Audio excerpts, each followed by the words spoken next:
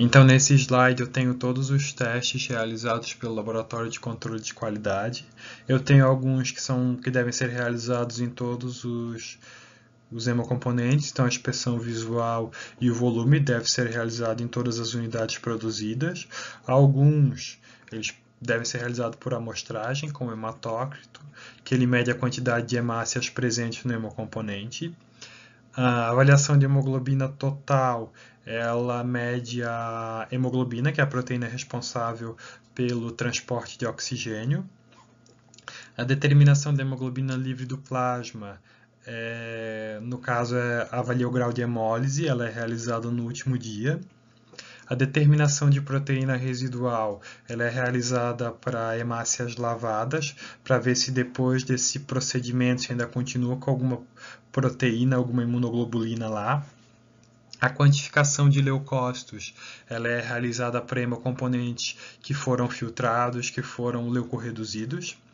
A quantificação de plaquetas, ela pode ser realizada tanto para a determinação de células residuais, mas ela é mais importante ainda para quantificar o produto de, de, plaqueta, então o pool de plaqueta, a plaqueta randômica ou a férise.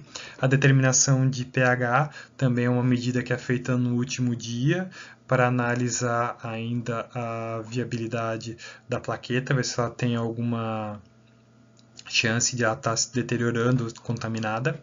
A quantificação de células residuais ela é utilizada principalmente no plasma para ver se depois dessa separação, desse processamento, eu tenho uma quantidade é, maior de algum de, pla, de plaqueta, de hemácia ou de leucócito que não é interessante ter nesse produto.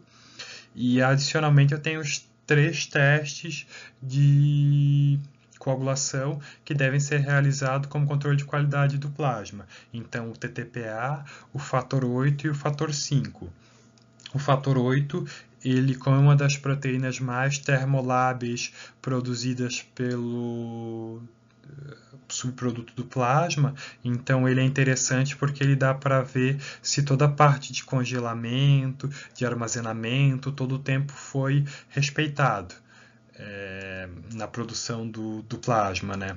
A dosagem de fibrinogênio é utilizada no controle de qualidade do crio e o controle microbiológico deve ser realizado principalmente em amostras que são armazenadas em temperatura ambiente então, ela pode ser feita de maneira manual ou automatizada com equipamentos como o Bactec e o BactAlert.